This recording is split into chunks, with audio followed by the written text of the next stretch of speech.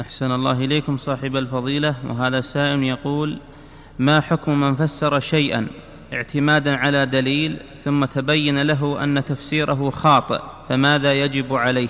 يجب عليه تراجع عن الخطأ وإذا كان انتشر هذا الغلط على الناس فينبغي أنه يبين هذا للناس وأنه تراجع عنه. نعم.